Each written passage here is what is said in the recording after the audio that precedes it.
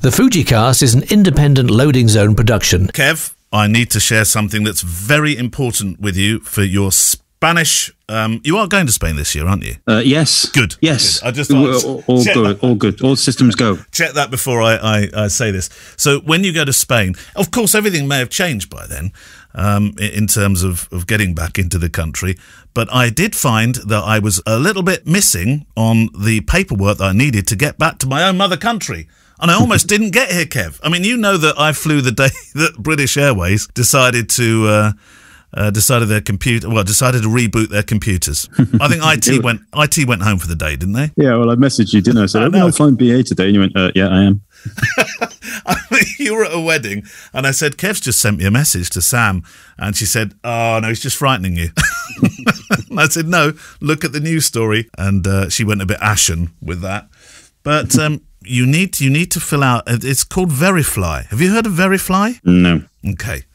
Well, you need to fill out some sort of documentation with the government to tell them where you're going to be when you come back and so on and so forth. And and whilst we were away, I said, "Oh, I don't need to fill that out. They'll let us back in." Oh no, they won't. Mm. I we we had to get the laptop out and everything. We held up the queue. I could see the the daggers that were in the back of my. So make make sure, Kev, you do your Verifly. The other thing when I went That's a COVID thing, right? that is a COVID thing. So who knows by by when you come back in, what is it, August, September, la- la- late August? Maybe it's not. No, won't even be a thing. But the other thing, when I went through, and you know, you go through the uh, the bit where they test your bag, blip blip, and have a look at it and all that sort of stuff. Th- They found my dead cat, Poor cat. and the guy, the guy said to me, he said, "What is this?" And I said, um, instead of saying it's a fluffy thing that fits on the end of a microphone to stop it popping, I said it's a dead cat. so he let you on with the dead cat. Yeah, let me on with the dead cat, and both legs are intact. The Fuji cast. And next time, Kev, I am taking you. I found Yeah. I found the perfect slope for us. It's gentle, and it's got a hot chocolate bar at the end. so there's none of that awkwardness about having to do après ski with big beers. You'll love it, Kev. You'll love it. I would. Why don't we do it, Kev? We should do it. That should be next year's Fujicast adventure. Should be um, skiing. Kev, Kevin Neil go skiing. Yeah, I'd love it. It's been a long time since I stuck sticks in the bottom of my feet. Do you think you'd be? Do you, would you snowplow all the way down screaming to start with? No, no. Uh, skiing's like riding a bike, isn't it? Once you can do it, you can do it. Yeah, yeah. You can't. You necessarily do it as fluidly, but yeah, you don't. You don't regress right back to the beginning. I No, don't that's that's true. Although they do say, and I think this is true, you spend the first couple of days sort of trying to maintain some kind of dignity. Um, and it's really the third day where everything sort of comes back to you. So by by the Wednesday, Kev, you'd be all right. you'd be. I've been watching them do the um, the uh, the jumping in uh, Lillehammer. Um, they're doing the world championship jumping there. That is Ski jumps. oh extraordinarily brave to do that kind of stuff. Oh, Yeah, I love that. Right, well, welcome to the Fuji cast. We have uh, an announcement to make today. Me and Kev are getting married. Du-du-du. No, it's too late for that. You got married to Gemma last year. Twice. Twice, I know, twice. Um, we do have an announcement to uh, to come. Um, we have a guest, part two of Charles Brooks, talking to us about being in. Was like Honey Shrunk the uh, photographer, isn't it? Being inside those those instruments. They're quite incredible, aren't they? Those pictures. Oh, amazing. Yeah, um, yeah. There's- there's- He's inspired me to start taking pictures of hang on. musical instruments. Not that, not inside, just outside. I was thinking, are you are you getting a probe microphone, Kev? A microphone. Sorry, um, a probe. Um, oh, not microphone. Pro, pro, I thought you said pro microphone. no probe and camera. actually you probe, said probe. Probe. Probe camera. No, I'm not. Probe lens. lens. I do quite like the idea of uh, setting up the, the studio and taking some nice pictures of my cheap guitars and my clarinet and stuff like that, just to see what they look like. Are you still noodling all the time? Yeah, Yeah. noodle, noodle, noodle. Are you doing it's anything a great way of getting the living room to myself. Is it? Chases Just pick it up. Even the dogs leave. Did any, any of your kids ever say? Did Albie or Rosa ever say, "Dad, can I take up the violin"? oh no, no, no, no. Actually, Albie, Albie's pretty good. He, he quite, uh, you know, he tries to guess the tunes and all that kind of stuff. And uh, I've given him. I had somebody gifted me a, uh, little ele- electric guitar before Christmas, so I've given that to Albie, and he's got that in his bedroom now. So he's he's going to try and uh, try and start noodling as well, much to Gemma's. deep annoyance. You could have one of those bands, Kev, one of those family bands. You like the Jackson Five? Well, Mine's too. Well, may, maybe the Jackson Five, but I was thinking of the, all those bands, those bands that formed during COVID. You know, we get all the families that that started entertaining the world with uh, ev- everybody would be on something. You know, Yeah, Dad yeah. would be on Triangle, just to try and keep up with the family. and uh, oh god, all those um, what are those the things we used to play at school? The whistles. What are they? Recorders. Oh, Oh, recorded. I, you know what? The recorder. Uh, I was reading a really interesting article about the recorder. Probably one of the most versatile musical instruments you'll ever find. really? Believe it or not, yeah, from kind of pitch and tone and abilities and all that kind of stuff. If you're if you're anything other than really good at it, it just sounds er- horrible, doesn't it? Well, it does sound a bit squeaky. Sounds like a teenager that's trying to find the uh, the depth in his voice. You can get some like really nice like baritone record uh, recorders and stuff, and they're they're deeper and they sound beautiful. I have to say, if you know what you're doing with them. I've got the baritone here. Uh, Try this one. Yeah, it. Yeah. Oh, C Yeah. C major. right then, questions. Um, oh, we got some bumps to the fronts. Oh yes. So uh, you have those. Do you have those? I do. Um, Right. So some of them are comments. Uh, Keith Martin, you should feel rightly very proud of Fujicast and the community that's formed around it. I look forward to supporting and seeing where it goes next. There's a kind of a clue to some news we've got. Uh, Richard Yarp, it makes perfect sense. I look forward to listening to the new version. See? Thank you very much, Richard. Uh, we'll save that for a second. And Stephen Anker, though, with a question. Hi, Neil. Hi, Kev. I wanted to ask your views on the arms race of photography. Careful. Whilst I fully accept that you cannot halt the march of tech, I do feel that constant thrust for more pixels, faster focus, um, etc., risks devaluing past photography and de-skilling current photographers. Do we risk discouraging potential talent who feel it's pointless to try unless they can afford the very latest kit? I think there's another part to the question as well. What about that to start with? Do you, do you think we're going to de? Do you think we will de-skill photographers with the, with the more stuff we we give them? That's the more autopilot we give them, the less skill they're skilled they're going to be. Yeah, well, uh, well. Firstly, for those that don't know what bump to the fronts are, they are um, our patrons. So if you support us on Patreon, you get bump to the front, questions bump to the front, Yeah. plus other bits and pieces. Yeah. So I've got two two strands of uh, opinion on this. One of them is if you think about the companies, there is definitely a school of thought that says, you know, why do they keep making them bigger and better and faster? And, you know, that does devalue it and everything, blah, blah, blah. But if they didn't, they would go out of business. Well, because they need yeah. to, they need to, uh, in, in, what's the word? Not invigorate. Come on, Uh, Rodney, help me out. I know. Where's Kev's? Monge too, Monge Monge- They need to monge too. Monge They need to get better and bigger yeah, and everything to keep the, the the coffers going. So it's Yeah. always going to happen, right? So no, no, don't let's not think that uh, you know there's going to be a company that comes along and you know creates the perfect camera and then just goes, yeah, there we go, Yeah. Knock your socks off because they've got a business pretty quick. Um, but yeah, I mean, to a certain extent, uh, you- we've seen it. We've definitely seen it in the wedding photography world, where you know there are photographers that basically turn up, take twenty thousand pictures, and then cherry pick the good ones, of which there will be lots and lots of good ones. Yeah. And that's purely based on the technological advances that have come their way. That's not to say they're doing anything wrong or right, but it's technology that has enabled them to do that that way. There's absolutely no way, if you go back, well, even if you went back five years, 10, 15, certainly, that you could shoot the way that uh, people shoot these days uh, in terms of weddings and things like that. I think that it does give us opportunities. It does. Uh, it does give for you know if you look at sports photography, where you know that in- incredible frames per second that some of the cameras are kicking out these days, that's given us images that we would never have been able to get. You know, high speed macro photography, for example. You know, you take a look at those poor, the, well, the not chaffinches, well, the little blue birds that fly around above rivers. Pointy noses, Kingfisher. Kingfisher. Kingfisher. Yeah, yeah, yeah. So all those poor kingfishers who are Yeah. being baited into boxes, and you know you get all those amazing pictures that I think are awful, by the way. But if you, uh, you, you the technology for you know with that high speed sync, that high frames per second with high speed sync flash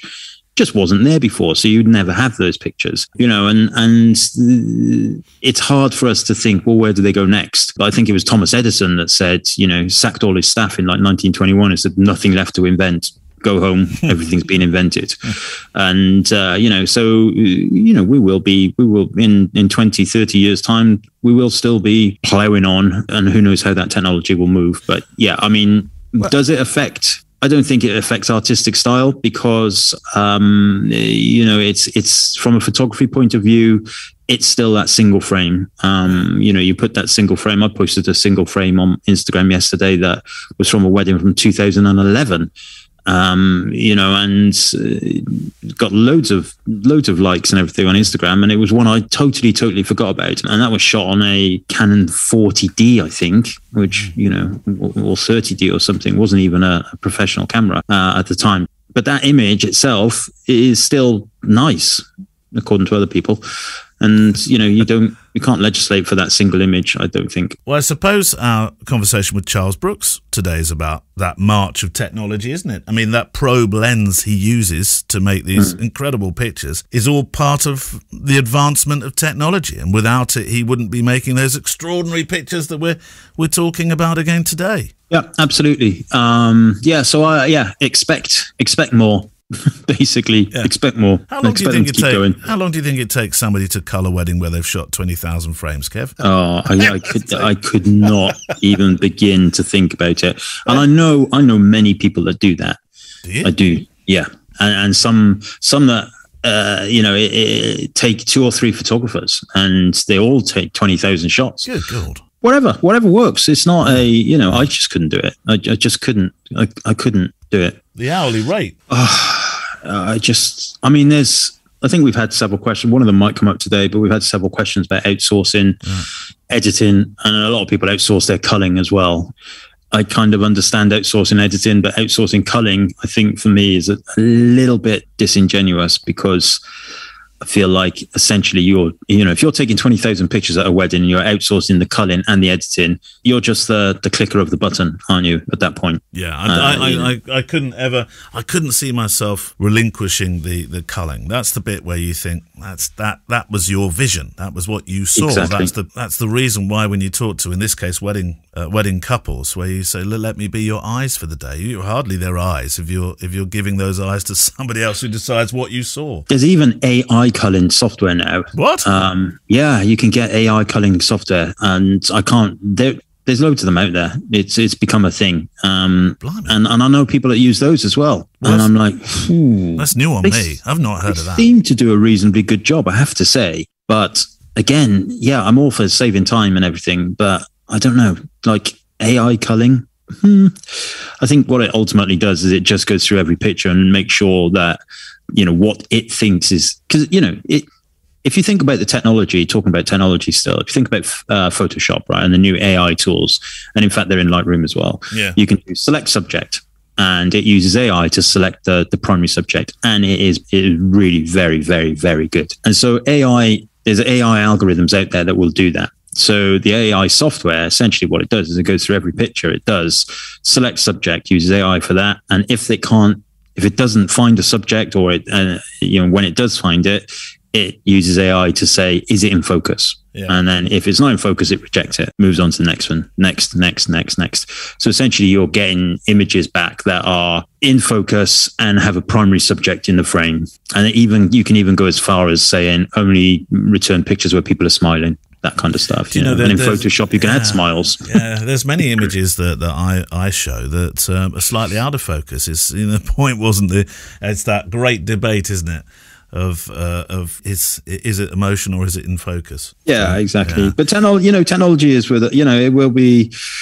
Uh, it's not just cameras, I suppose, is what I'm saying. It's it, it's everything. You know, uh, where do you draw the line? You you know, you you you got a more comfortable car to take you to your wedding job or your your commercial job you know everything gets better and nicer and quicker and faster and more expensive and all that kind of stuff. Not that I can afford to drive my car at the minute with petrol prices, but there well, go. I've, I've, yeah, I've, I've decided, Kev, to keep to keep the uh, the current car now for the next six, seven years, however many years, Kev. New cars are a New cars are a thing of the past. Same here. Yeah. Same here. Um, there was a second part to that. Kevin recently referred to. sp- I s- I suppose it's kind of tied up in the in the first.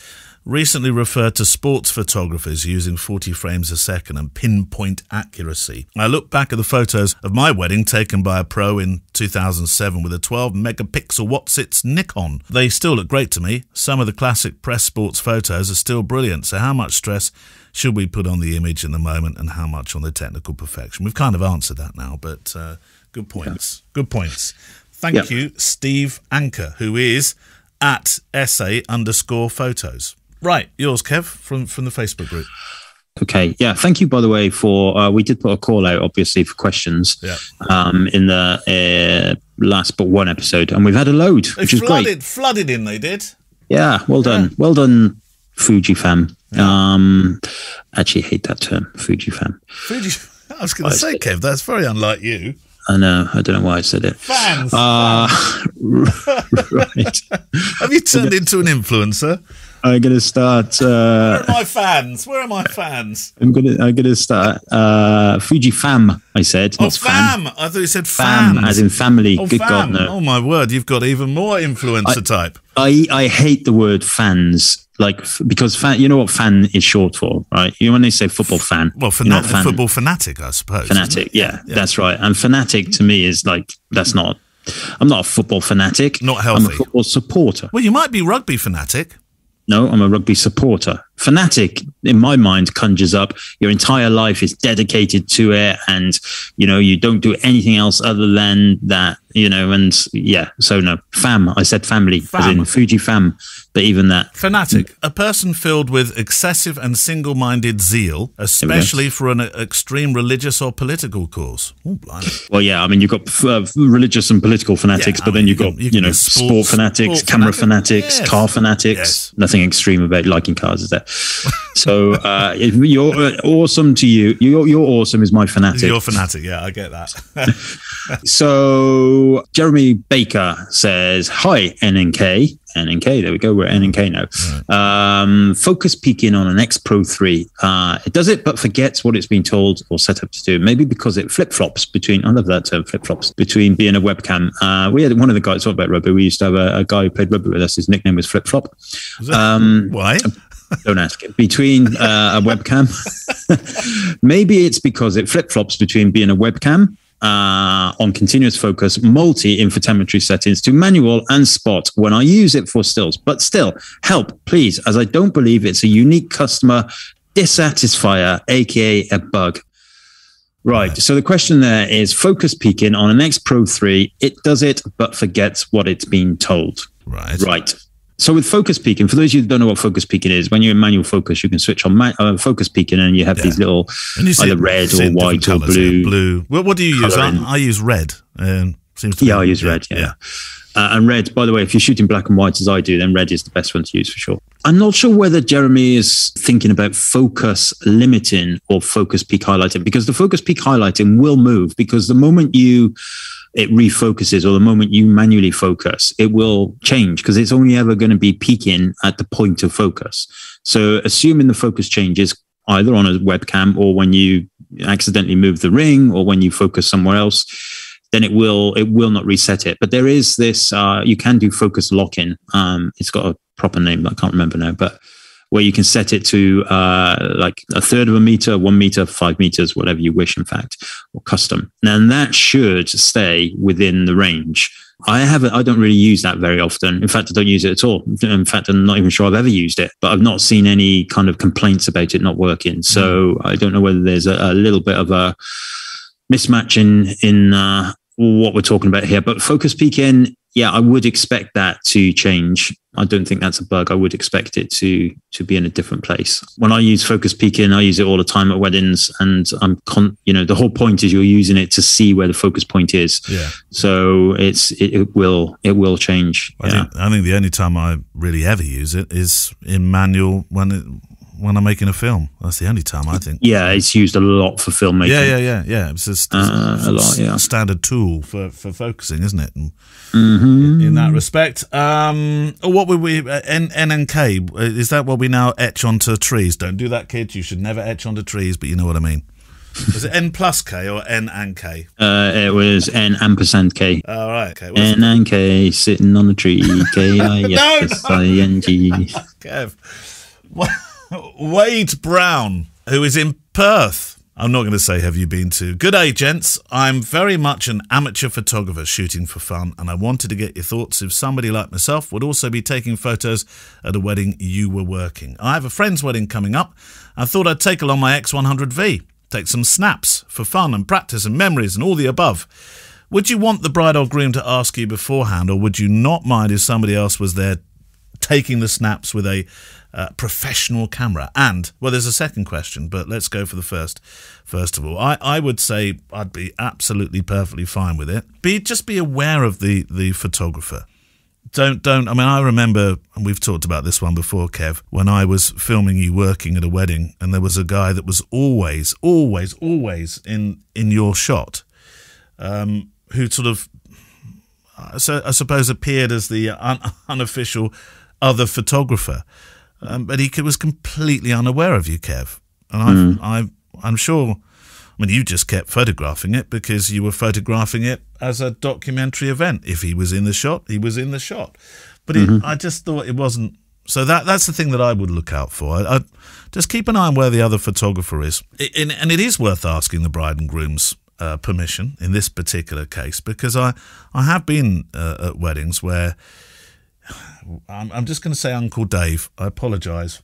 Um, I'm going to say Uncle Dave. Where Uncle Dave, he's exceptionally enthusiastic with with his camera, and that's fine because we all love photography. But he then drags the bride and groom off to go and do portraits mm-hmm. um, because he believes I'm not doing my part of the job properly. I'd love that. I love no, it when that happens. This is yeah, but it's not. It's not what they signed up for or necessarily wanted and you've sort of you've you've kind of with your size 12s just trodden upon the whole thing so yeah make yeah. your docu- make your documentary pictures but be aware just be aware and and be genuinely uh, respectful of the photographer. Yeah, yeah, that's it. I mean, look, there's no difference. To be totally honest with you, there's no difference taking your X100V or taking a phone. Yeah, and taking pictures. You know, there's no difference. So yeah, just enjoy it. Don't get in the way of the professional photographer, and just yeah, yeah, enjoy it. But don't you know? Don't. I do find sometimes I feel like some people are missing the wedding because they're they're concentrating on taking pictures as guests.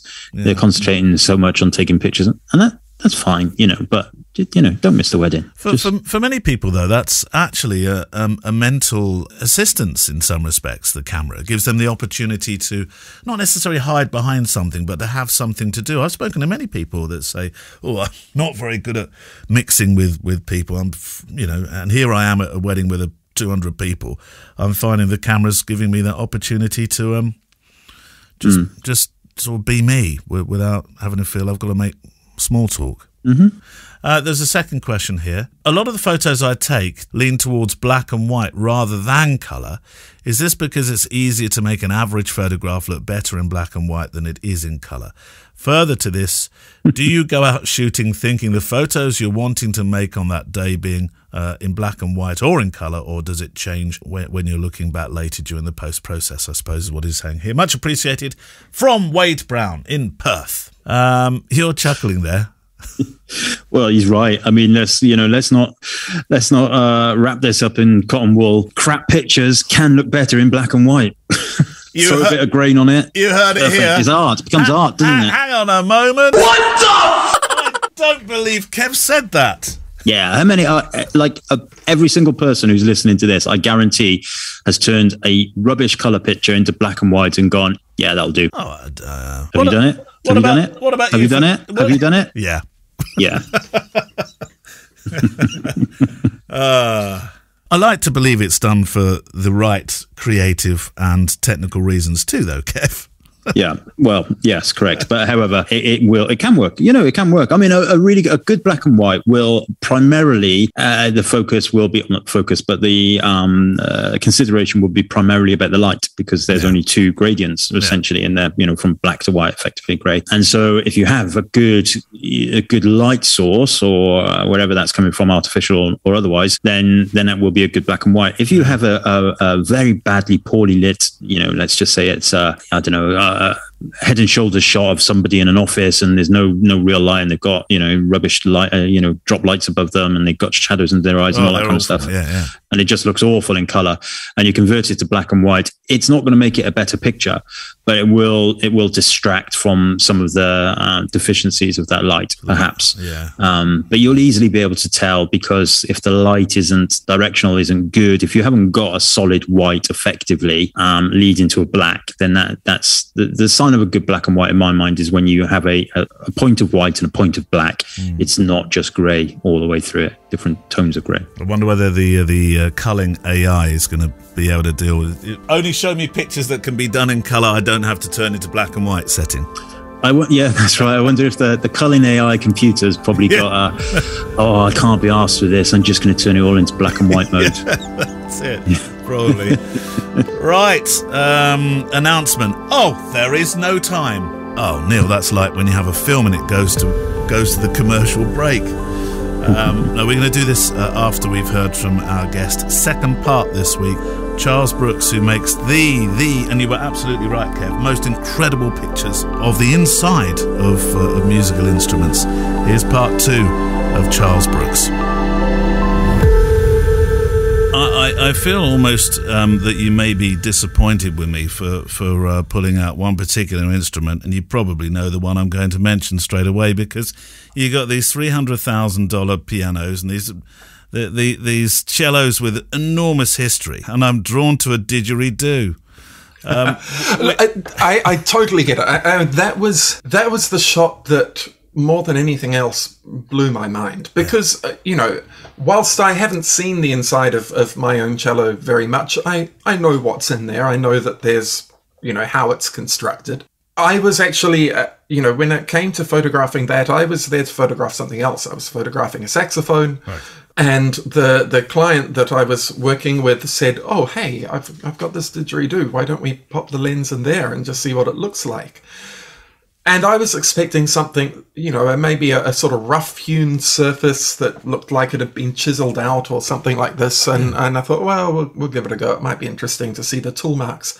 And then I'm suddenly presented with this extraordinary alien cave like landscape, yeah. um, this organic structure. And it turns out that proper didgeridoos they're carved out by termites. I know. I couldn't. It's extraordinary. That yeah. became the main. That became the main conversation at the meal table tonight when I was able to say, "Hey, kids." Did you know how didgeridoos are made? If they're real ones? Yeah. Uh, so you know they will spend. I, I don't know how long it takes a, a, a you know Aboriginal to to find the right log of the right size of the right shape. I imagine it can't be easy. No. You know, cut it off. And then, of course, they, they are doing extraordinary work on the outside, you know, carving and painting and polishing these instruments. But that's something, that's what everybody sees. And I'd, I'd certainly seen didgeridoos before. I, I studied in Australia, I'd played alongside them, but I had no idea about this, this history of the inside of them. And so photographing that was it's, it's, something I'd love to do some more of because I know that every single one of these those instruments is going to be dramatically different just because of the the organic way in that it's it's you know being constructed. They also have a, a, a sort of fable, uh, a, a, history behind a, creation history behind didgeridoos, and the idea was that the first didgeridoo was um, you know taken from a tree, and the guy who found it pointed it up and blew through it to get rid of the termites that are in it. And these termites are white. And he blew so hard that those termites flew up into the sky and became the stars. Became the stars. Oh. Um, uh-huh. And I, I, I, love astrophotography. I know it's you another do. big I know passion of mine. so I, I, I like that link in there. Yeah, I was about to say that they, the, the, the inside of the didgeridoo to me, knowing your astrophotography now that I've seen it, there, there, there was something about the galaxy about it. Inside. If you look inside, you'll have to see the picture and we'll link to it. But it looks like it could be a part of the, or maybe I'm, I, I don't know, maybe I'm, I'm being far fetched, but it does look like it could be a, a part of our galaxy. Yeah, it, has got that sort of red colour that you'd yeah. expect from a nebula. Yeah. Red and black and white. This yeah. is all stuff that, that we associate with astrophotography and, and that kind of spherical shape, that, that circular pattern that you see so much in nature. Um, yeah, it's a, it's a thrilling instrument to, to yeah. photograph. Um, I've, I've since been in touch with a, a, guy in New Zealand here who has a collection of what we call taonga puoro, which are ancient Maori instruments. Those are, are, created from sometimes shells, sometimes wood, and that'll be one of my next projects to go and photograph the inside of some of those, some of which are extremely ancient. Mm. And I'm I'm particularly interested to see what the shell ones look like because we should get some sort of light coming through the actual you know surface of it there. Um, the the question is going to be, can I find a a view that's long enough because they will spiral tightly in on each other. Yeah. Whether I can turn that into a, an engaging enough photo, I don't know. But well, that's it, part of the excitement of this. You, you don't really, you know, uh, with some of these new instruments, with some of these strange instruments, you don't know if you're going to be able to find a successful angle. Um, and so every every time it's a it's a thrill. I, I, expect with some of them I'm going to have to change up the equipment that I'm using. So I'm already looking at, at different lenses. Laowa have have teased a prototype about six months ago, a very similar looking lens that shoots off at 90 degrees at the end. So it's like a little periscope. That is something that I could use. Um, I've tried to get in touch with them, but they haven't written back. So if anyone from Laowa is listening, um, if they, if we'll they, see. surely they've seen your photographs. I, am I'm, I'm wondering if um, because also you're talking about about shells, and one of my questions was going to be: is there is there anything you can't photograph because it's just physically impossible to get the to get the lens in there. And I, I, would imagine that surgical lenses that can actually make their way around the body would, would be the next step for you, surely, wouldn't they? Yeah. So this is something I, am talking with a neurosurgeon at the moment about using and, and trying out some prototype lenses. Yeah. Um, those particular lenses, they do have a lot of limitations at the moment that would stop me from producing the kind of quality that quality, I want. Yeah. Because typically they're they're made for video and they're fairly low resolution. Right. Um, so they might only be three, four hundred pixels across, and that's all they need for a diagnosis. Yeah. Um, and it, it's getting into just the, the properties of light there. I mean, you know, it's got to go all the way through this bendy fiber optic cable. The cable can only be so thick, yeah. and there are there are issues with that. The other thing is those have a fixed focus length. So they are typically focusing within a centimeter of their lens and they, they cannot actually change the focus out to infinity. So, you know, you'd have to find a different way to do that sort of focus stacking that's so integral to the, the effect of these photos of making these small spaces seem large. You could do that by by physically moving the lens, and I'm, I'm considering that. But the issue with stacking those photos, especially on, on complex instruments like a piano or something, is um, you're going to get all kinds of parallax because we're not just talking about a tube. you you can see behind pieces. You've got strings going over the top. You've got bits of wood everywhere, and as you move through that, all of those are kind of you know going over the top of each other and being revealed and then hidden again. So stacking that would be a, a bit of a nightmare. Um, we'll we'll see what happens when I give it a go. Technology's got to catch up with you in this in, in this particular case. Um, I, in the same way that people want their portraits made, has anybody asked you to photograph the inside of their instrument as a portrait commission? I, am I'm, I'm wondering if you've got people with three hundred thousand dollar pianos just queuing down the street for you because it's so different and nobody else has done this before. When people talk about having a USP, you found one. yes. Um, so that that happened almost immediately. Right. Straight away. So not just people wanting portraits of their instruments, but wanting portraits inside their instruments. So them inside their instrument. them inside their own My instruments. word. Right. Yeah. Okay. um, so a little bit of a little bit of Photoshop going on there. Yeah. Um, yeah. And I've done that once already. So I, I photographed a guy, a composer in uh, Hamilton, which is a town just south of Auckland, uh, Michael Williams. And he likes to write for, for cello a lot. So um, he didn't have a particularly good instrument himself, but there's a, a luthier that I knew that was nearby um, who had a, a beautiful 200 year old instrument that. Um, so we went, we photographed the cello and then took him into a studio and it took a while to, to match up the lighting that was coming through the instrument to kind of recreate that on a larger scale in the studio and then also to get the perspective just right because you know obviously I, I, ha- I couldn't use the probe lens to shoot him in a studio. I had to change lenses make sure i was mm. getting the right compression so that everything kind of looks like it's in the right space make sure the angle is is correct. It took a long time, but I, I think it worked particularly well. So I've got a people love seem to particularly love it with cellos. Um, so I've got a family that I'm I'm looking to to photograph soon. They've got a, a fascinating cello that was once hit by a train and then put Whoa. together. And I'm I'm I'm really I, I can't wait to, to get inside that and take a look. But I, I'm curious as to why anybody would try and put a cello back together after it had been hit by a train By a train, yeah. but um, also just to see all the all the repairs and so on. Um, so the idea is to have this family of musicians performing inside their own instrument, because part of the whole series, part of what what really struck me with this is that these photos they look architectural. So I, I called it architecture in music, and they they look like a space. They look like concert halls. So it seems natural to want somebody to be in there playing. I hope you don't mind, but I, I want to sort of rewind a bit and talk about uh, your your photography as a, as a whole. Really, um, I, I think of you as a, as a very technically versed photographer. Clearly, through our conversation, but I also see so much creativity and, and, and spirit, particularly when I look at your portraits of people. What, what drives you? Is it the technical experience of doing something others haven't, as in these incredible pictures in the instruments? Or is it looking into a musician's eyes and making a very honest portrait?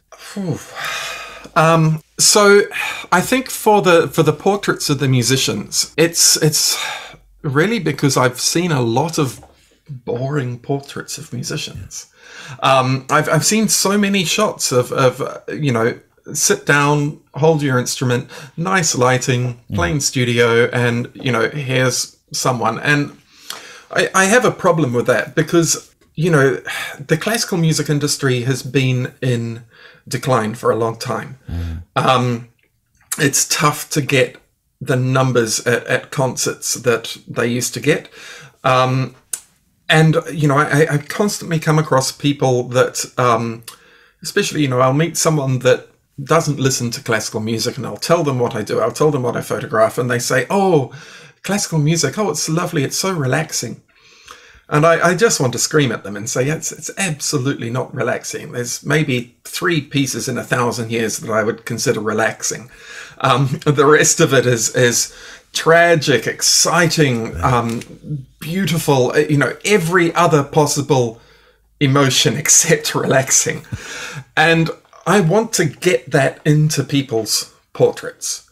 Um, because the idea is, is these are going to be used on, on programs. These are going to be used on flyers all around the world. And and you want you know these are often going to be someone's first um, sort of contact with a with a, a new concert that's coming up. The first thing they're going to see is, is visual not oral and so I want to get some of the excitement of the music that these guys play, and it can be so exciting into these portraits. So it's a matter of, of sometimes we'll have them levitating, sometimes we'll it, have their instruments look like they're on fire. Um, all, all kinds of, you know, any technique I can to just get that drama into it so that people go, oh, this this looks interesting, this looks exciting, and then hopefully by that time there's another hook, a, a, fragment of the music they can listen to, and, and they're they're sold and they're at the concert. Do, do the musicians um, um, um, come in? Well, I mean, they're incredibly creative people. Clearly, do they come to you with the ideas, or, or, or do they come to you knowing that you you want to you want to inject the flair that you feel is missing otherwise? Usually, they they come to me and just say, "Do what you do." Yeah. Um, so typically, I, I will ask them, you know, what repertoire do they usually play? Yeah. They'll send me a list of works that they're they're known for or that they they aspire to be known for, and I'll listen to those. And and you know, I was always a very visual person when I was playing music. So if I were playing a particular concerto, I would have a scene in my head for whatever was happening in that piece. And so I'll, I'll listen to that music, and that will generally give me some kind of inspiration. I'm intrigued to say what's next. It sounds really to me though that there's a architecture in music seems to be at the uh, almost at the start in some respects because there's so much experimentation, so many new instruments, so much new technology to investigate, isn't there? Look, I mean, there's an endless supply of instruments, and um, you know, not just classical Western instruments. There's all kinds of, of interesting foreign instruments, all kind of wonderful Asian instruments, wonderful Indian instruments. Um, you know, I could spend a lifetime photographing this and, and barely scratch the surface, and that that's something I I expect I'll do. Yeah. It's also a matter of continuing to evolve my, my photographic process. So I'm going to very rapidly reach the, the limits of what I can do with a rigid lens like this. I'm going to have to develop some some new techniques, and I've got some of those that I'm I'm working on at the moment to find you know different cameras different lens properties that that can get into ever more difficult spaces because the technical side of things always always thrills me i love that and um, you know it's exciting to be able to to work in that way And you're selling prints. I did say I, I used a four letter word right at the start of our conversation before we pressed the figurative big red button. I said book. Uh, and, and you seemed a bit reticent. well I, i'm not really reticent i do know how much work is involved in making a book Yeah. um, especially the writing side of it but i think that that most of these instruments have a story Yes. and have a history so know it's that, definitely yeah. something that could be done Yes. it's just a matter of, of getting together enough of these photos to make something that's that's really good. I need quite a few more, but it is something that I, I will do. And yeah, the, the print side of things that that was unexpected. Yeah, it's good. Um, it's it's been wonderful. I've never. I mean, I've sold prints. Uh, you know, I've I've sold. You know, every time I, I do a commercial shoot, my clients buy prints. But you know, this is typically people buying prints of themselves, or uh, you know, if it's it might be printed for a political campaign or something like that. But um, selling just sort of prints to to I guess random people um, was something I never expected to happen. It's certainly not on the scale that it has.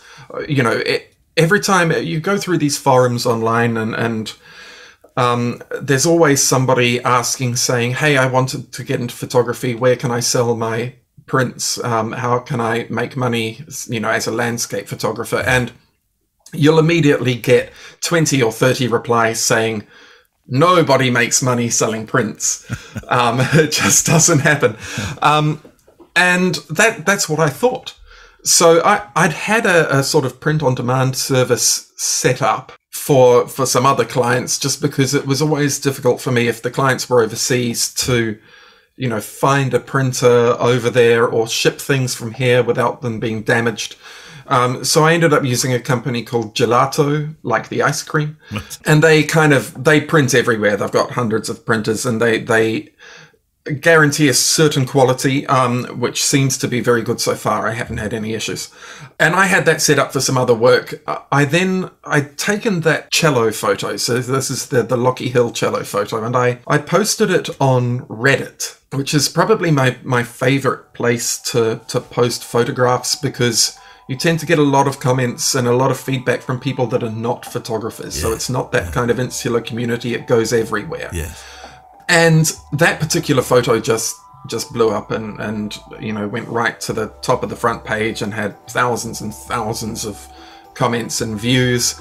and I thought, oh, hmm, maybe maybe a couple of people might like to buy a print of it. Probably, I don't know. Yeah, so I just I put it up on the on the print shop and um, put a link back through it to one you know to my comment in, in Reddit that described the technical details of it, and then my phone just started going ding ding ding ding ding. It, it makes this little ka-ching sound like a cash register, and um, I'm gonna say that was a very satisfying day. Um, so so I've done a complete 360 on on you know can you make money selling prints? Absolutely. If if you've got something I think the key is to have something that's unique.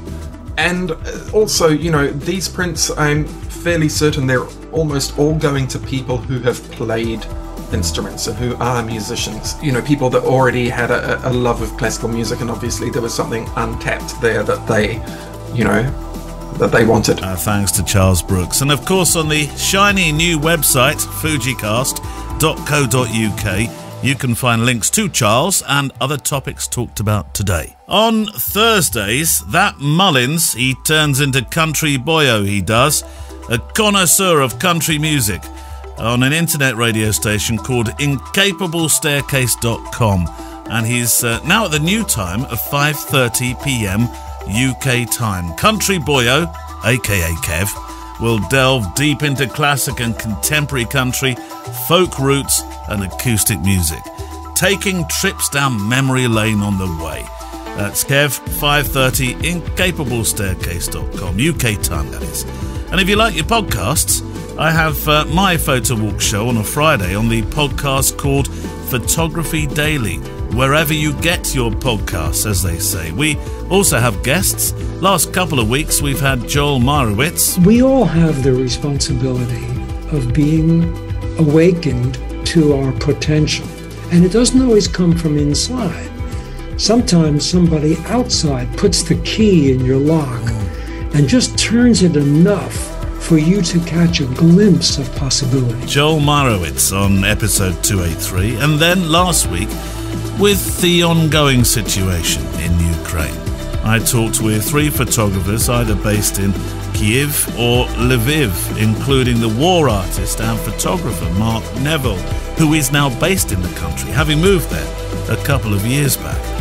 He's behind the work Stop Tanks with Books. what I don't understand, and I still don't understand if I could see it, and I'm not a political strategist, I'm just some 55 year old bloke with a camera. If I could see it coming, then you can be damn sure that a lot of other people knew it was in the post as well. Fridays, wherever you get your podcasts, we're on our photo walk on the podcast called Photography Daily. Now, usually at this time I say, and back to your questions, but not today. Um, some news, Kev. We have news. That's my news jingle, Kev. we, uh, yeah, we've we've got an announcement to make um, about the show. Kev, you you did it so well just now. I feel like I should hand the baton to you. Oh, uh, okay, fair enough. Um, Were you waiting for me to do it? No, you go first. You put the phone down first. No, you put the phone down first. Well, I mean, uh, let's talk about. Well, those in the Facebook group will already know this. Of course, this is not new news at all. Um, Mm-hmm. and, and our patrons, of course, will also know this. This is not new news at all. Um, but we're changing the frequency. Um, and I don't mean by that we're going from 99 FM to 102.4.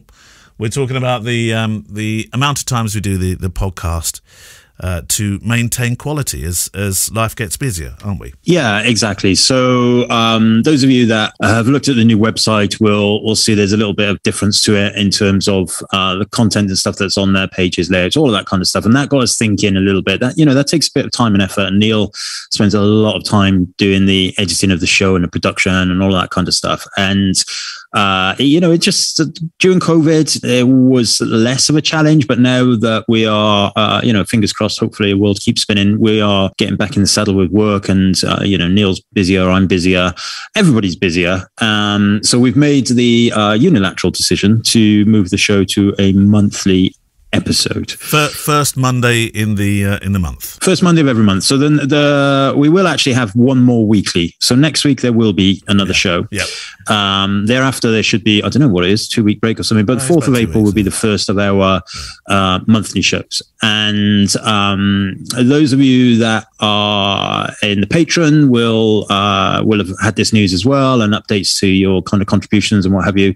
Um, but we will we're, we're planning on um, making it slightly different, but not overtly different. No. Uh, certainly not overtly long because we both we understand that there's a sweet spot for podcast lengths. It's Yeah. not going to be like a four-hour episode. It'll be like like like the Joe Joe Rogan of photography podcasts. Uh, He I I, mean, I hate think Joe he- Rogan. I'm honestly I like uh, my Spotify system is now defunct of all of my Joni Mitchell records and Neil Young and everything. Oh. I'm gutted. Uh, yeah, They're all gone, really gone now me. because for a while they didn't go, did they? For a while I thought, oh, they might might remain. I don't know. I think it all did. It was all like the publishing companies had to get involved and everything. Um, you know, and who stamped their feet the hardest.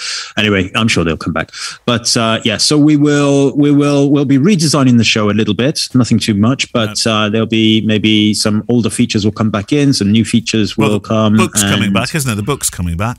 Books will come back, Book of the week. and I'm going to head back to the studio with Neil and record it. So I, uh, I, you know, I dusted off the other day your desk. Nobody has sat here since you were last here. Nobody.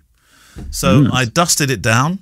I checked the microphone still worked because I and, and uh, I put the spotlight up again for you, so so you can bathe in in your in your spotlight. Uh, you'll get the glow off the top of my head now. Oh dear, things have changed in the two years. I had my hair cut yesterday again. My my friend uh, Mehmet, the Turkish barber, and he was he patted me on the head again. No, He's no. One day, one day you come to Turkey with me. We sort this out. What? What does he mean by that? He wants me to go to Turkey with him so he Does can do a hair transplant on me. What? Honestly, he's brilliant. Oh, I'm sure he wants you to go to Turkey for other reasons. Don't be rude. Oh, Uh, one day we go. One day we sort this out. Tap tap tap. Uh, we're going to Turkey this uh, this year. Um, Oh, nice. I hope. um, but uh, yeah, so that's the that's the new show, and um, and and also we were talking about uh, because you're coming here, um, we might sometimes jet off somewhere to do some street photography or something, and uh, because I know people used to uh, enjoy when when sometimes we had Kevin Neil adventures, which will then be edited down and put into the show as well, won't they? Exactly. So yeah, we'll it'll be it'll be fun. I'm looking forward to it, and uh, it will uh, it will also because you know one of the things that we had noticed and we we we talked about offline off the show was. Uh, you know, question. We we are totally reliant on on you, um, boys and girls, and theys and them's to you know send us questions, and and that's how the uh, the show runs. And we we appreciate every single one that comes through, but we also do see um, uh, lags, and uh, there are times when I, we, you know people send in questions, and there's times when people don't send in questions because you people are busy as well. Yeah. and so this makes more sense because we can uh, we can answer the questions. We'll fill the fill the question bag back up. Um, we can do some more fun stuff as well. When you say And, lags, do, do you mean uh, the the term used for describing prisoners um, staying at Her Majesty's um, pleasure? That's what a lag, isn't it? Oh, lags. Yeah, lag, Lags. Yeah. I think there's an S in front of that word, isn't there? No, I don't believe there is, Kev. Oh, Um, okay.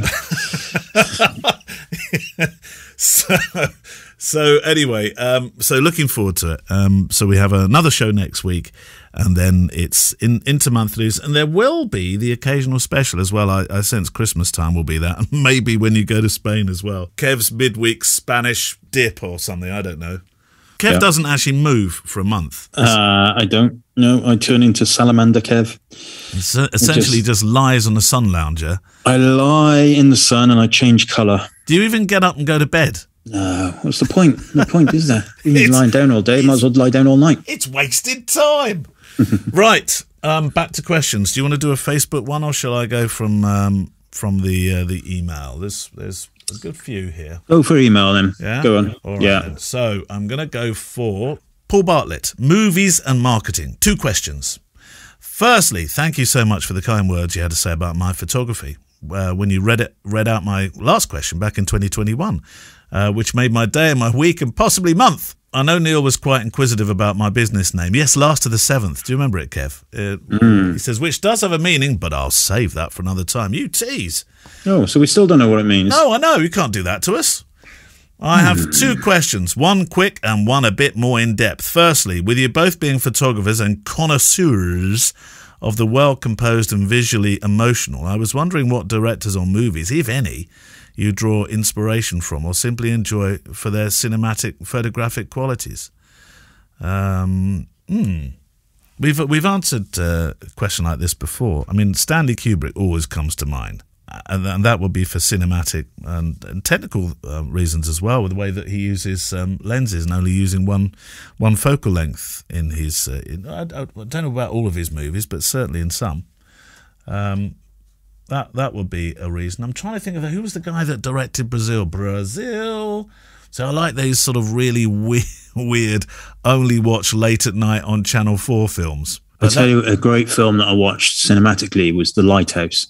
Terry Ah. Gilliam. Terry Gilliam was the name I was thinking of. Sorry, The Lighthouse. Yeah, Lighthouse. Tell A me couple about years that. ago. Tell me about it's, It's all black and white, um, and it's about these two lighthouse keepers that go, and Oh, it's yes, uh, yes, yes, yes. Was that it's black and white only? Was it? It's all black and white. Ah, yeah, it's okay. great. Love that film. Uh, it's quite a quite a convoluted. You know, you wouldn't want to watch it. You know, on a kind of Saturday morning. It's a it's a late at night. You know, half a bottle of scotch kind of thing. Well, you, Um, you can't do that anymore, Kev. That well, film's no, banned. couldn't do now. it. That, it's banned from your house. I um, yeah, it's a great film. That you know, Is it, did they film. did they almost try and eat each other or something? Yeah, it gets very dark. It does, doesn't it? Yeah, and it gets very dark. But it's it is like if you if we're talking about cinematic style, then that's uh you know that that's a great great one. And you know, I, I not films, but you know the art of like Edward Hopper and stuff like that. I really love as well. Yeah. Uh, you can see you can see inspira- In fact, there's a great Facebook group actually called uh, Inspired by Edward Hopper. Or is there? Yeah, um, and people put pictures up that they, you know, they kind of took because they were inspired by Edward Hopper. Some of them are absolutely incredible. Um, some of them are terrible, but you know, some of them are amazing. So uh, yeah, I think um, yeah, that kind of stuff. I love all of that. Mm, I like post post. I'm gonna. I, I, I'm gonna wish I, I wish I hadn't gone into this. Post apocalyptic. Oh, Post apocalyptic is uh, is something that I, I don't know. I seem quite drawn to those sort of those sort of movies and the storyline and the direction behind it. And second part of the question here is a documentary photographer who's currently growing the wedding and the event side of uh, my business. I often find it hard to promote both aspects to potential customers. Although all my photography falls under a documentary style, promoting a book of street photography whilst also marketing myself for weddings seems a little tricky. Do you think not zeroing in on one from a business point of view is harmful or helpful? Any advice would be appreciated. This is a sort of an old chestnut, really, this one, isn't it? But a good one, and, and one that I'm revisiting at the moment with the inexorable, onward, never ending um, redesign of my website, which has to be done now because the old one doesn't work anymore. Well, you can see it, but you can't do anything with it. And I- I'm, I'm putting everything on there, Kev. It's mud against wall. Yeah, I think, yeah, I mean, you know, I think the days where websites are your primary, But they are your shop window, my- though, Kev. I mean, they if- are your shop window, mean, but you- I'm not sure whether these days they are your primary um, point of initial contact. I I, mean, think yeah. now that's places like Instagram. do you?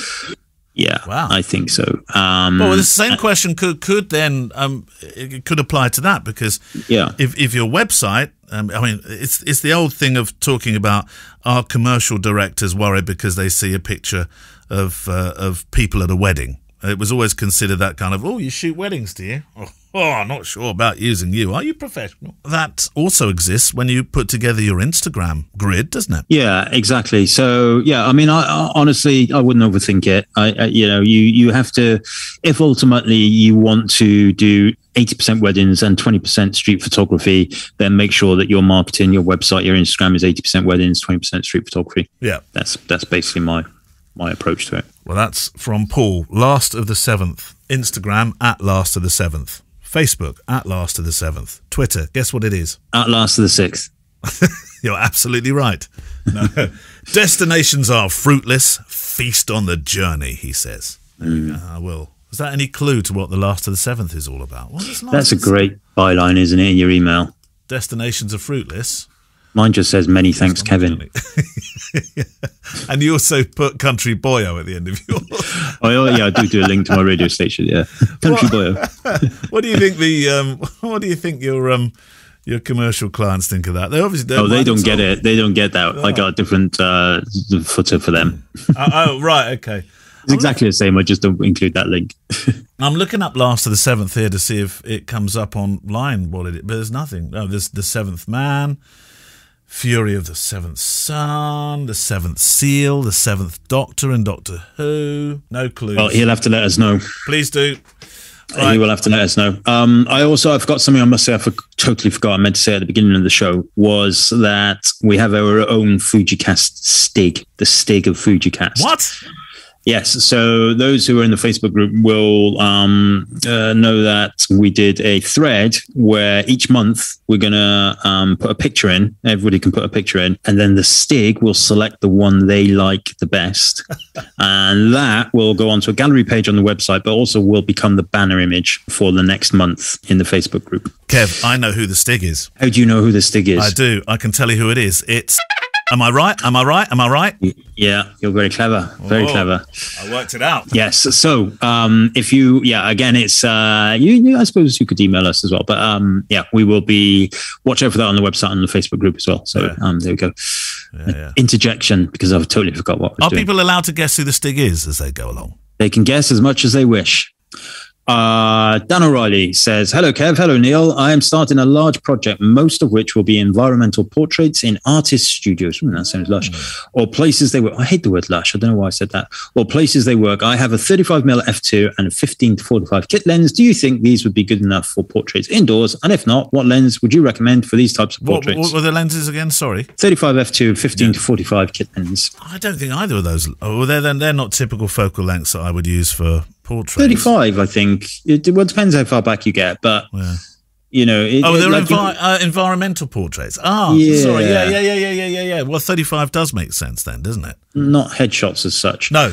Yeah, and ultimately, both of those lenses, you know, if you're adding light, if you're throwing flash on them or using a constant source, then doesn't really matter about the, you know, the the f stop if you like, unless you're looking for a particularly sh- uh, shallow depth of field. So you could use an f4 lens. But yeah, I mean, 35, I think is absolutely fine. Just just make sure you've got control over the light because 35, uh, well, if it's so you've got the 35 f2 lens, um, you know, you you're not going to be able to get down to 1.4, 1.2 or f1 even. Um, so make sure you've got your uh, available light, natural light, stick them in a window, that kind of stuff. But yeah, I think those lenses would be fine. Yeah. Um, here is one from Mathieu Chavot, um, two QQs from France.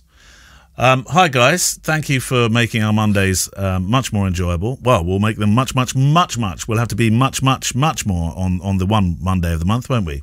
Yeah, three of your Mondays next month are going to be awful. Throw you're gonna have some rotten Mondays. Uh, tell me why I don't like Mondays. Cue the song. Uh, QQs, feel free to answer just the first or oh, we'll do both. What am I talking about here? We'll do both. One, I'm on the market for a laptop to do my editing. Uh, what's your current on the on the go setup? The thought of biting into the Apple market makes me cringe, but the variety of Windows operated laptops is just too damn scary. Thoughts? Well, I mean, you're talking to two people that use uh, two different systems. I don't know why the Apple one would make you cringe. I mean, the new M chip. He's probably on about the price. Oh, well, if it's the price, yeah, I get it. But if it's the chip, and I tell you what, this, I mean, they talk about a, hot- a, a hot knife through butter, and I tell you what, 4K, editing 4K through the M1 chip, I mean, it's just, um, it's incredible. But it is the money, isn't it, Kev? It's probably the money here. I mean, buy Yeah, I buy- think that's probably what he's referring to. buy cheap, yeah. buy cheap, buy twice. Obviously, is uh, is another is another phrase. Yeah, I mean, you know, let's not make this a, a Mac versus No. Windows thing, but the things to look for are, um, you know, you, you definitely want an SSD these days, Yep. and you want a reasonable amount of RAM, uh, 16, 32 gig at least. Um, but it, more importantly, with the RAM is uh, the f- speed of the RAM. So RAM comes in megahertz. Often you'll get 2666 megahertz RAM. But if you if you can find a laptop that gives you 3000 megahertz RAM, then you're going to be doing yourself a, a huge favor. Yeah, they're ultimately the things. And if you are editing, as Neil just alluded to, uh, 4K. Well, basically, if you're editing photography, you want a 4K screen. I would say. Yeah, what, what uh, the HD size screen. and the size and the me- the megawatts. It's um, with camera. We were talking earlier and earlier about um, uh, earlier rather about cameras getting bigger and bigger with with regard to uh, the the sensor size, which is only ever going to slow things down when you edit. Yeah, exactly. I mean, I've got a Dell XPS 15 Hmm. 2000 and mm, uh, 19. When did I buy it? Uh, When was the start of lockdown? 2020. The 2020, Twen- yeah, twen- okay. 23rd of March. 2020. 2020 edition. Yeah. Uh, there is a new ver- there is a new version of it out now. Yeah. Uh, Dell XPS 15, which is beautiful. It's got zero bevel, so it actually looks like a 17 inch screen, but it's in a 15 inch body. Yeah, that's like I, I edit my GFX 100 images on there with zero problems whatsoever in Lightroom. How Yeah. long do you normally keep your your laptops? Are you well until they stop doing what they need to do? Really. So what's Um, that? Two, three, four years? I think I had the previous one before that, the Surface book. I had for probably three or four years. Yeah. I, I'm, I see what I tend to do is buy high grade stuff and keep them longer. So, for example, my uh, Dell laptop has got 64 gig of RAM. Uh, it's got a eight gig graphics card built into it, and I fully expect that to last me, you know, four or five years, maybe even longer. Yeah. My desktop studio machine here is uh, a, a monster machine in terms of specifications. So I fully expect that to last six, seven, eight years, hopefully. Um, you know, I'd rather, I typically spend more at, at, the, at, the, at the forefront and then keep them longer. And that- top of the, that- I'm top of the range boy. Top think- of the range, I think that's um, empty wallet. when it when it comes to uh, the Mac price, I've I've always spent a lot of money on on Mac, but they've lasted a long, long, long, long, long, long, long time. Well, that's it. I mean, you, you know, I did when I swapped my machine, my studio machine, because I, I previously had another machine that I'd had for a good six or seven years. Uh, and I went back and uh, looked at the price I paid for it. And of course, things were a lot cheaper then. I mean, God, you'd be lucky if you get a computer these days. Nothing is in stock, like nothing. Everything is out of stock. Yeah. I was on the Wex website the other day, and everything is just a wait in stock, like from bags to to cameras to lenses, everything. You, you know, and it's the same with PCs at the moment and computers and all that stuff. So, um, good luck in getting one. But the one of the things, and they're a lot more expensive than they used to be, of course. But one of the things I did with that new when I got the uh, when I decommissioned the old computer was, and when I say decommissioned, I sold it to Steve Vaughan. Was I uh, I divided the how long I'd had it um, by how much I paid for it, Yeah. and it um, and in days, and it worked out to be something like seventeen pence a day, Well, there we go. which I thought it was reasonable. I think Steve Vaughan's worth seventeen pence a day. well, maybe fifteen. uh, but um, well, there we go. You've, you've made your point with that, and I think yes, uh, invest in invest in that, and uh, it's probably a good idea rather than skimping on the. uh, It's difficult, isn't it? Otherwise, you The new. Microsoft Surface stuff is looks beautiful. I've got a Surface yeah, yeah. tablet. I never got. Um, I never got on with it, and I, you know I tried, but I just. You did, yeah, and you had the same one as me, and I, I did get on with it, but, Yeah. but you know, horses for courses. But they obviously that was I don't know what was that four or five years ago. It was a long time ago. They're changing now, but Microsoft are a little bit like Apple. So the Microsoft Surface stuff is very good, very beautiful, very quick, but probably more expensive than if you were to buy the similar spec from Yes. like Dell or Alienware, or actually Dell own Ali- Alienware now. Um, PC Specialist, you could get a, you can, um, if you're in the UK, PC Specialist will build you a bespoke laptop to your own specification, um, custom built, and that will be cheaper than taking one off the shelf. So yeah, get a good one. Spend the money now um, and keep it for a long time. Yeah, I'm just looking online here to see uh, what the uh, what's available. Um, uh, oh, here we go, Kev, and this is reasonably cheap. You can get it through Prime. Get one tomorrow as well. No computers available, but there is an Etch a Sketch. Do you remember? Do you remember Etch a Sketch? No batteries required either, Kev. That was the beauty of them. Yeah, I used to love them. Shake them, shake them, and it all disappears. Make a beautiful picture. And in those days, you didn't even have cameras or anything to take a photo of the No. the, the sketch. No, no. Yeah. oh no, it's insane. Like literally, if you typed into Google now something something to buy, it would just come up and say no res- no results. No. Well, unless you want an Etch a Sketch. You can't buy anything. No. Well, I don't know. What about the the um the, uh, the uh, there must have been a run on Amazon Basics since you mentioned them so well Yeah. a couple of weeks ago. Uh, question two from uh, Ma- uh, Matthew, uh, which is uh, I'm starting out as a documentary family photographer. I currently own an XE3 paired with a 23 f2 and 35 f2. Given my limited budget, would you suggest I get a second XE3, safety in numbers, no lens swapping, or trade the XE3 for a single X Pro 2, which has the safety and dual cards? That's an interesting thing, isn't it? Would you go for an X Pro 2 with the dual cards, or would you would you have two XE3s with a 23 and 35? Now, usually I'd have said an X Pro 2 because I, I always loved that. Um, I regret selling my X Pro 2s. But um, I don't know. I'm I'm sort of I'm veering towards two XE3s here, Kev. Uh, yes, probably. However, I would say that if you're charging, you do need to have one eye on, uh, and I mean charging money rather than charging batteries. You do need to have one eye on insurance, and you know, in my insurance companies these days do tend to insist on having re- data redundancy in your cameras. Yes, yeah. Um, so yeah, just you know, we shot for a very long time without dual cards. I know, So I know. it's not a, in my mind, it's not a, that much of an issue, but it is for peace of mind and from an insurance point of view, it can be a thing. Um, I think we have time for a uh, a quick. Uh, do we have time for a QQ, Kev? Or Yeah. are we? Uh, yeah. Well, I don't know. It, it, uh, has to be a quick QQ then, Kev. Okay.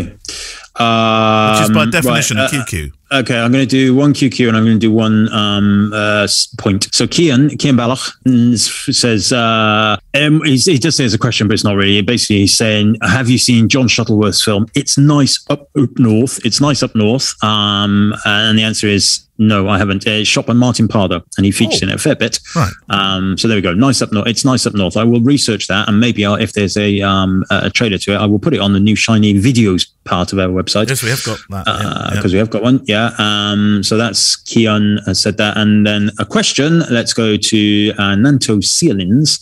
Uh, he says, besides personal websites, Instagram, I'm curious to hear if either of you chaps or anyone else for that matter has considered embracing the great evil of Facebook and used it to publish personal projects as a blog. Oh, there's an idea. Yeah, he then goes on to say, I hadn't really thought about it until my wife showed me a blog she's been obsessing over that follows a caterpillar someone had rescued.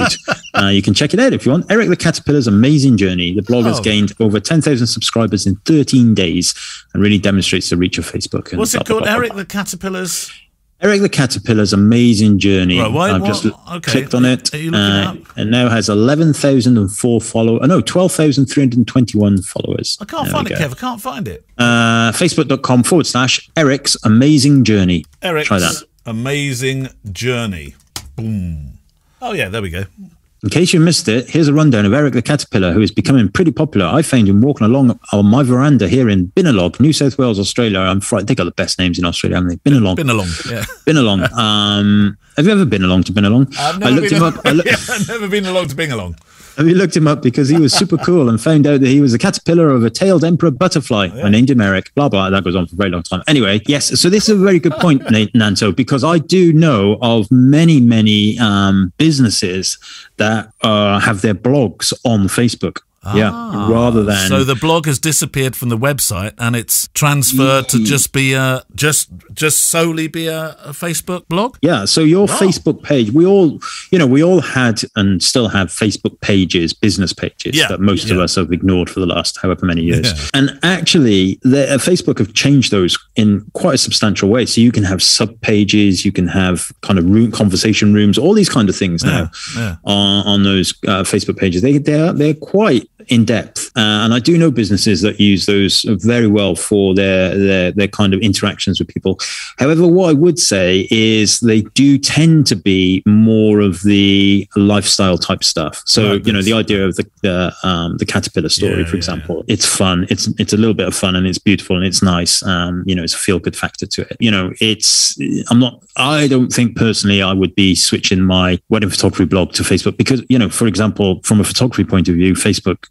compresses the crap out of images And and, also, all that there's, kind of stuff. there's no search engine optimization to it at all, is there? No, but I think Nanto is pointing to the fact that Facebook has a billion zillion users already. Uh, you know, and uh, if you Who aren't necessarily your clients, though. no, not necessarily your clients, but but could be. You know, I mean, when I share, I, I pretty much only share my Instagram posts onto onto my Facebook business page. Now I do it directly from uh, from Instagram. So I put Yeah. something on Instagram and then I whack it on. Um, it automatically whacks itself onto Thingamajiggy. So I did one last night, 17 hours ago. I posted an image on Instagram, and it's I'm just looking at it now. It's squirted its way across to my Facebook business page, and on my Facebook business page, it's had 426 likes, 16 comments, and four shares. So the Facebook business page, yes, there are many of them may be photographers, but you know that that I that's a that's a very positive thing. You know, 426 likes, I think it is. 16 comments, four shares, uh, and that's just uh, uh, you know that's just come directly from Instagram. I didn't do anything, so there is still power in Facebook business pages for sure.